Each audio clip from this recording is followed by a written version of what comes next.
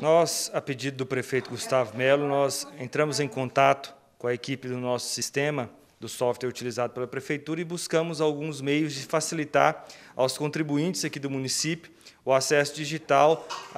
ao ISS, ao ITBI, à dívida ativa, todas as guias que o contribuinte precisa é, ter o acesso, nós estamos disponibilizando hoje com maior facilidade dentro do site da Prefeitura. Então, nós deixamos aqui o recado a todos os contribuintes do município que precisam ter algum acesso aos serviços de tributos, estão disponíveis hoje no Portal do Cidadão, ali no site da Prefeitura Municipal. Lembrando que hoje, lá nesse Portal do Cidadão, já se encontra também é, um local onde você vai poder fazer, retirar a sua guia do IPTU e a sua guia do Alvará. Só que ainda não está disponível porque uma das primeiras medidas adotadas pelo município de Altaraguaia, no início da pandemia, foi suspender a cobrança de alvará e IPTU. Então, hoje existem os links lá para a emissão das guias, só que ainda não está disponível porque nós suspendemos a, a cobrança do IPTU e o alvará aqui no município de Altaraguaia.